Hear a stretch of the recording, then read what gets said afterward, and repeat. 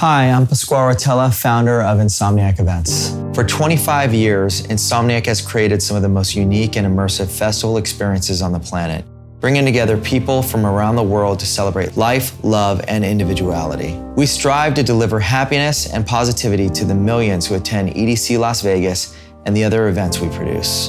Right now, the people of the Bahamas need our support. The devastation levied on the Grand Bahama and Abaco Islands by Hurricane Dorian is the worst the country has ever seen. Thousands are missing, and over 70,000 people are homeless or in dire need of food, supplies, and shelter. In the wake of the hurricane, Insomniac was asked how we could help provide temporary housing and logistics for the Bahamian people affected by this disaster. Without hesitation, Insomniac transported nearly a thousand EDC Shiftpods from our Las Vegas warehouse to West Palm Beach, Florida, where they were prepped for delivery to the Bahamas via air transport. We also sent members of our core logistics team to help set up the first Shiftpods and teach families how to maintain the shelters. But there's still so much work to be done.